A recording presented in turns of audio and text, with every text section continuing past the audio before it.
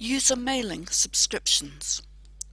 Log on to SAFE, then click under Your Details on Email List Settings.